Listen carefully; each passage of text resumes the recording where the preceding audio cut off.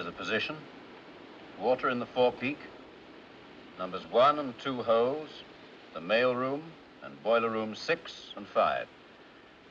That means a gash 300 foot long from there to there, below the waterline. Do you agree? Yes. Well? The pumps are keeping the water down in this boiler room, but the first five compartments are flooding. Well, what's the answer? She's going to sink, Captain. But she can't sink.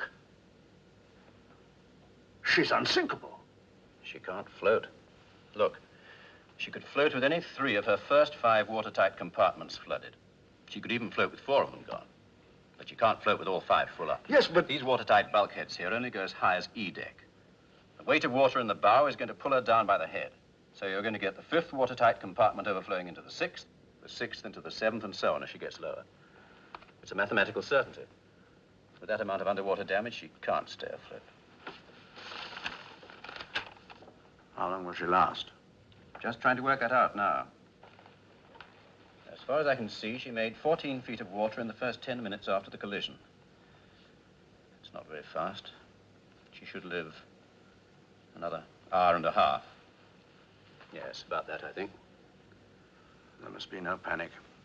No, You'll be careful what you say to the passengers. of course. How many people are there on board? 2,200 or more. And room in the boats for... How many? 1,200. I don't think the Board of Trade Regulations visualized this situation.